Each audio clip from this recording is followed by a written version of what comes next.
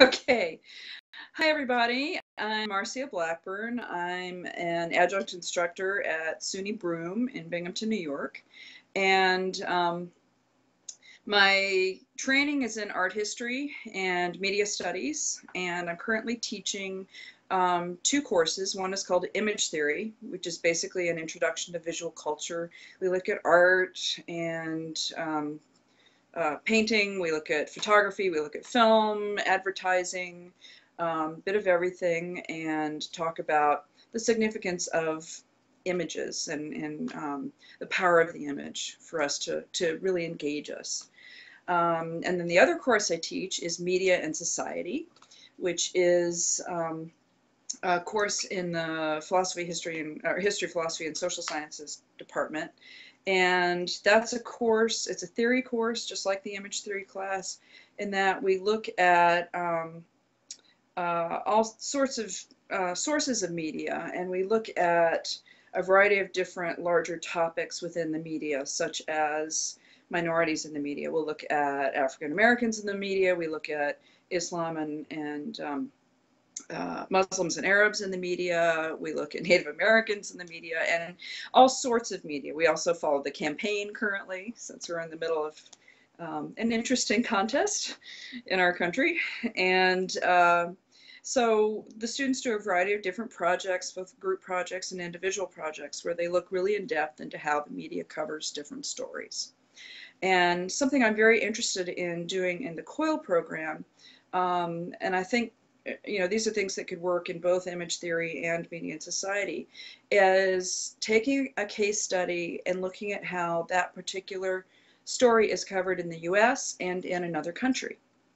Um, for instance, I do do quite a bit on um, Muslims in the media and the migration and immigration issues that have come up uh, across the world and I'd love to look at uh, or work with someone possibly in the Middle East or um, or you know up in Turkey or in Europe and have our students look at the issues that come up around the migrations that are happening um, from the Middle East outward um, and look at how they're covered in their countries as well as here um, and maybe some primary experiences that people have had. Um, other things that we could do is um, I've done a section in my classes on uh, street art and political art and how that's been used in um, the Arab Spring movement and how, and we also look at um, Americans like Banksy and Shepard Fairey. So that's that's another thing that we could look at, you know, in terms of the power of images to move us um, emotionally and politically.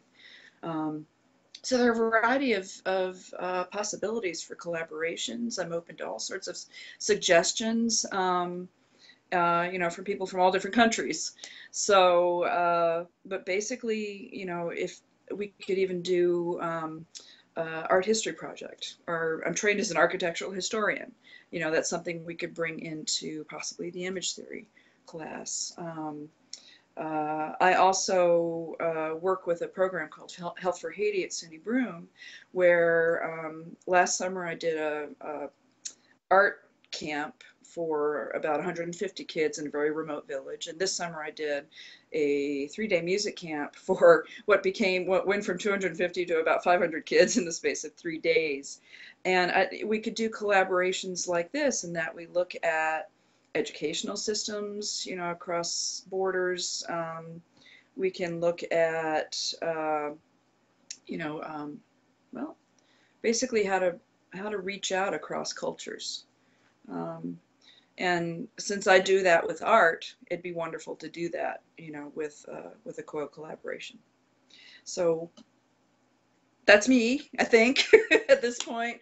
Um, I'm really excited about the possibilities, uh, you know, of the people that I've met on this, this COIL round and those who I hope I can meet through this profile.